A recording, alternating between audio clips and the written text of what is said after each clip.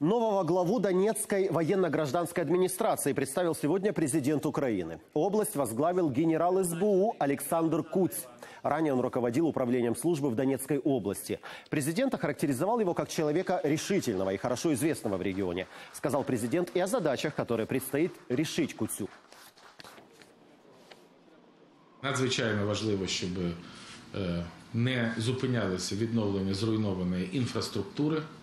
Ми 100% можемо казати про те, що Донбас сьогодні знаходиться серед перших пріоритетів президента Порошенка.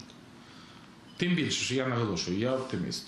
Я впевнений, що нам вдасться розгорнути миротворчу операцію. Я впевнений, що нам вдасться принести мир.